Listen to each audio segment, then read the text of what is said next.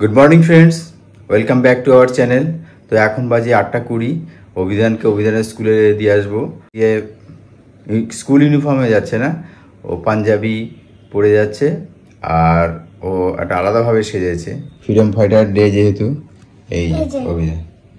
সামনে তিরঙ্গা পতাকা হাতে তিরঙ্গা পতাকার ব্যান্ড আর পাঞ্জাবি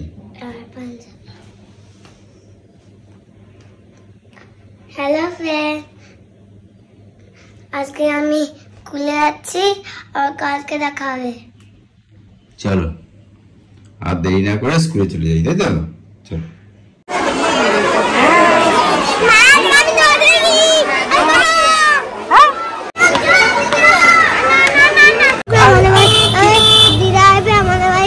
না দিয়া তো বস। তুমি তুমি কি করেছে বলো স্কুলে?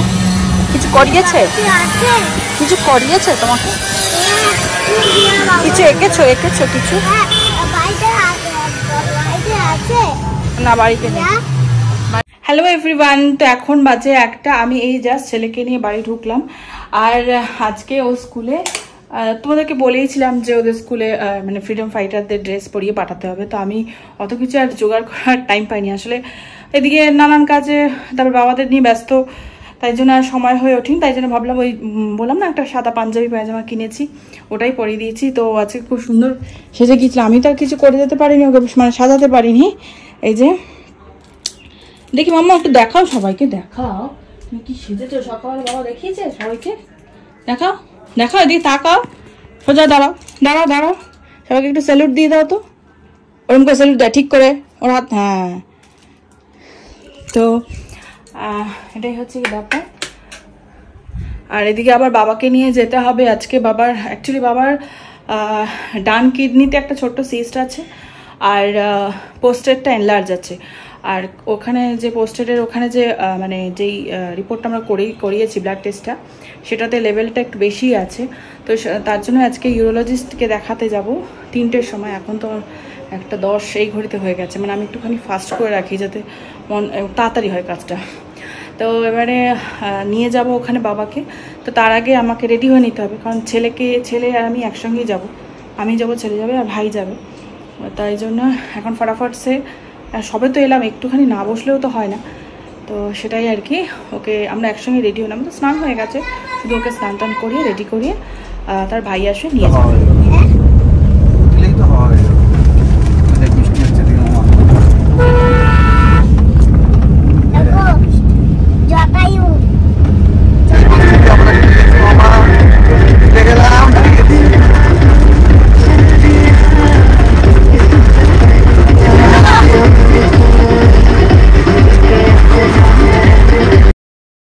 ছেলেকে মার কাছে রেখে আমি আর ভাই বাবাকে নিয়ে যাচ্ছি ডাক্তারের কাছে এখন।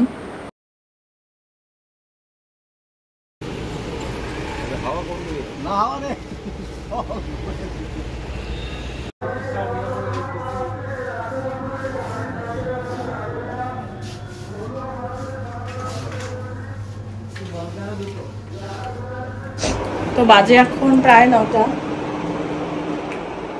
আর মাদের ওখান থেকে মানে বাবাকে ডাক্তার দেখিয়ে তারপর বাবাকে আবার রেখে দিয়ে মানে সাহেব বাগানে পৌঁছে দিয়ে আমরা চলে এসেছি।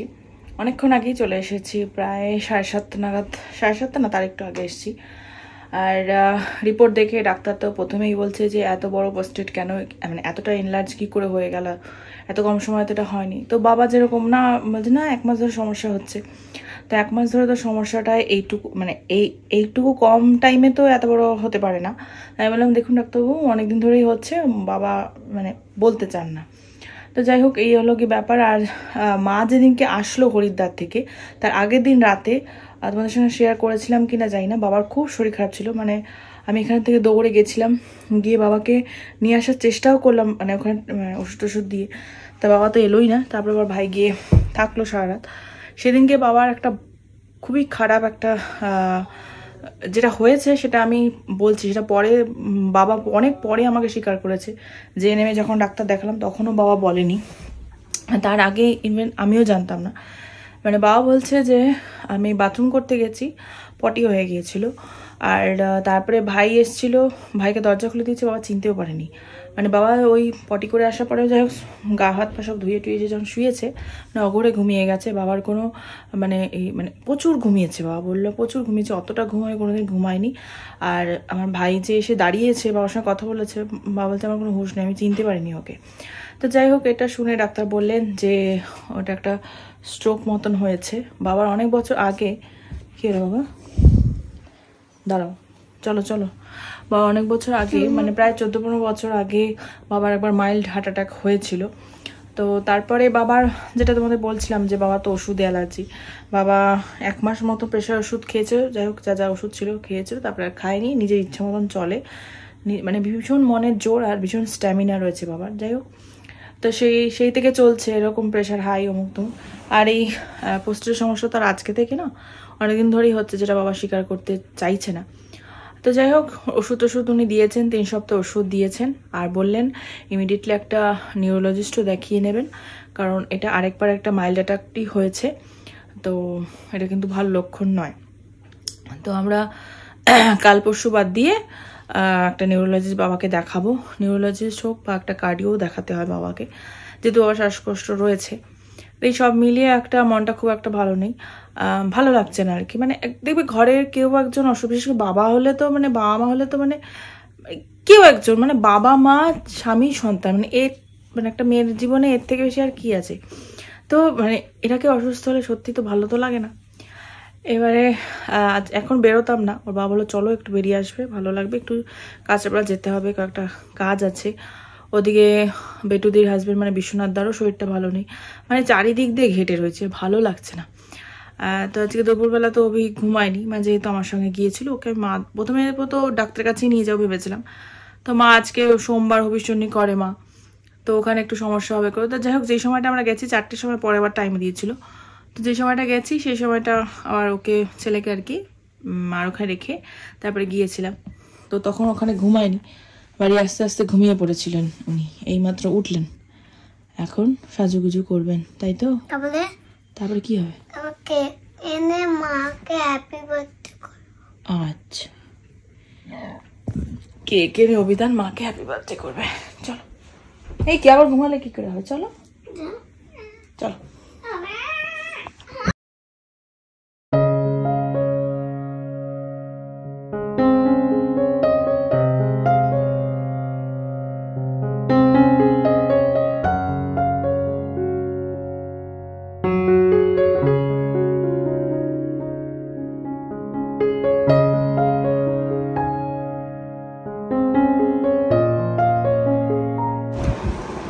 তো এখন বাজে রাত্রি বারোটা। আর এখানে তোমাদের চ্যানেলের দিদি বসে আছে। আমরা সবাই মিলে উইশ করছি। Happy birthday Tumpa. Thank you বলো হ্যাপি বার্থডে মামামকে।